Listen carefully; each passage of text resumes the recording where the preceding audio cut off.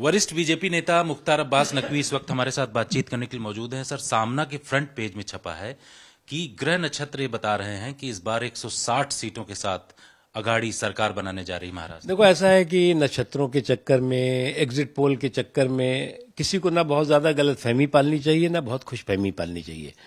इस तरह के नक्षत्रों का जो जो भविष्यवाणियाँ हैं, इस तरह के एग्जिट पोलों की जो भविष्यवाणियाँ हैं, उस, वो जो है, वो सौ सुनार की, एक लोहार की। तो इस तरह की जो नक्षत्रों वाली भविष्यवाणी हो और चाहे एग्जिट पोल की हो, ये जो है वो सुनार होती हैं। और जनता जो है, वो मतदाता जो है, वो लोहार होती है। इस बात को आपको समझना चाहिए। इसलिए तीर में तुक्का मारने, तीर, अंधेरे में तीर मारने की ज़रूरत नहीं है कि आपका निशाने पे लग गया तो तीर, नहीं तो तुक्का।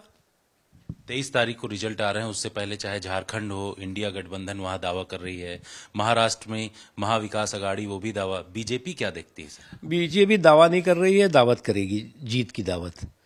हम जो है वो, ये नहीं बता रहे कि हम जो है वो जीतेंगे, हम तो जीत की दावत करेंगे। इसलिए करेंगे कि बीजेपी जो है वो चुनाव में, मतदान के बाद जो है वो आकलन नहीं करती।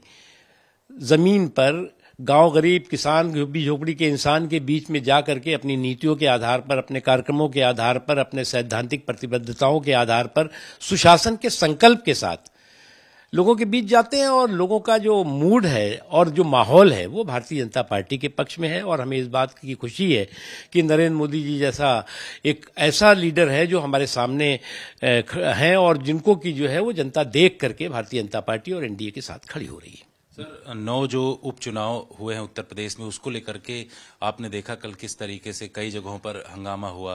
उसके बाद समाजवादी पार्टी सवाल भी खड़ा कर। देखिए तमाम तरह की ये समस्याओं के बाद संकटों के बाद कंटकों के बाद हाहाकार के बाद हंगामों के बाद भी मैं तो उत्तर प्रदेश की जनता को नतमस्तक होकर के सलाम करता हूँ कि उन्होंने इस जनतंत्र के जश्न में पूरे जुनून और जज्बे के साथ अपने जन, जनतांत्रिक अधिकारों का इस्तेमाल किया और मतदान किया।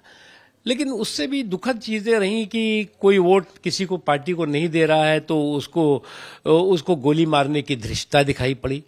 कोई वोट किसी को देने जा रहा है तो उसको रोकने के लिए गोली मारने की धमकी दिखाई पड़ी। चाहे गोली मारने की धृष्टता हो और चाहे गोली मारने की धमकी हो, ये किसी भी स्वस्थ लोकतांत्रिक व्यवस्था के लिए ठीक नहीं है। और जिन लोगों ने भी ये किया है उनके खिलाफ कार्रवाई हुई है और और भी होनी चाहिए, क्योंकि लोकतंत्र में जो है वो मतदाता भयमुक्त माहौल में स्वतंत्र माहौल में निष्पक्ष ढंग से अपने मताधिकार का इस्तेमाल कर सके, ये लोकतंत्र की पहली शर्त है। शुक्रिया सर बातचीत करने के लिए। कैमरामैन अभिषेक सिंह के साथ जितेंद्र सिंह, आज तक।